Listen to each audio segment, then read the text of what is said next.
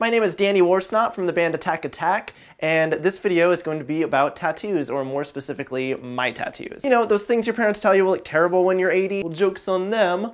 All of me is gonna look terrible when I'm 80. Ah, ah, ah.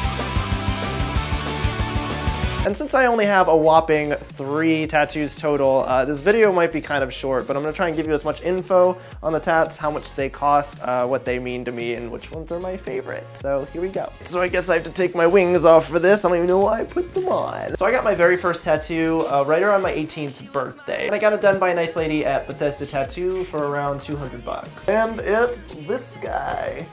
Um, it's upside down right now, but I guess it's, um, here, here's, here's a better view.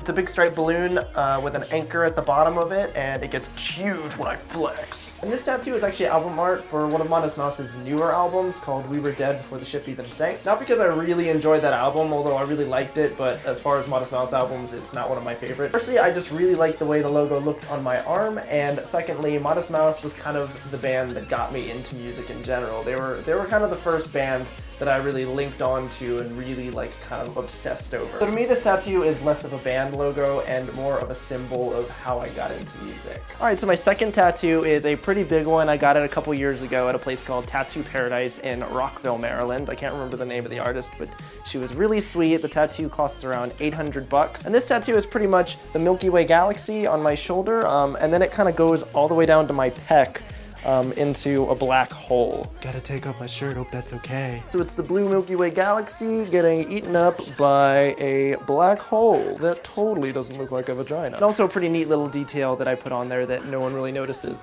is there's a little star right there on the galaxy. It's just a little white star. And that supposedly is where we are, or our solar system in the Milky Way galaxy. Now this tattoo kind of represents my existential points of view, because sometimes you just need to be reminded that you're a little speck in Nowheresville. And also another symbolic reference to my galaxy slash black hole tattoo is the black hole is right over my heart, meaning my heart is a black hole. So emo. And my third and most recent tattoo is kind of an abstract portrait of my cat, which is kind of like a mini sleeve all the way down my right arm. I wrote a song called Little Panther on one of my older albums about this cat uh, named Midnight, and it's pretty much about how one day he just kind of went missing, and we have no idea where he went. We never found him, um, so I thought it'd be really cool to get a little memorial tattoo although it's not so little. And I definitely didn't want to go cheap on this tattoo, so I got it done by an artist named Ivana. Um, she's based out of, I think, France or somewhere in Europe.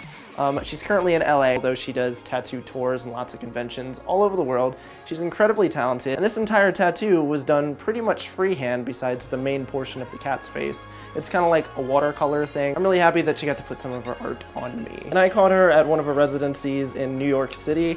This tattoo costs me about $2,500 around there plus tip. I acknowledge that this tattoo costs about as much as a crappy car, but I really wanted to do this tattoo correctly and nice tattoos don't come cheap. And generally rule of thumb for most of my tattoo ideas that I have swirling around in my head, um, I generally wait about a year or two or even three years um, and just kind of sit on the idea of the tattoo. And if I still like the idea even after all that time, then I'll look for the perfect artist to get it done. But otherwise, I really don't like getting tattoos kind of spur of the moment. There's a lot of thought that goes into them because they're going to be with you the rest of your life. Even if they look shitty when you're 80, they're still on you. You still have to look at them every day. I'd rather have really nice tattoos than a lot of really crappy spontaneous. Anyway, I'd love to hear which tattoos you guys have. And what do tattoos mean to you? Should they hold super deep meanings or should they just look cool. And make sure to like and subscribe and share with your friends if you have any. But until then, I'm Austin Carlile from the band All Time Low, and I will see you next time.